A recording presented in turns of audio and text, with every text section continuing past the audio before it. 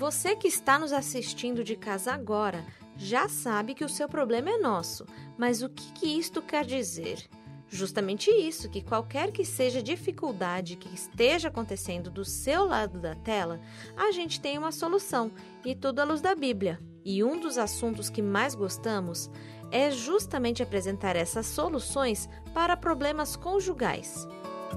Tanto é que na plataforma do NT Play tem um conteúdo exclusivo justamente sobre isso e se chama Seu Problema é Nosso. O casal de apresentadores Alice Barbosa e sua esposa Cristina apresentam um programa curto, mas direto ao ponto. Lá eles abordam temas como: Meu marido não me ouve, meu marido parece meu filho. Ah, mas a gente ouve outro lado também.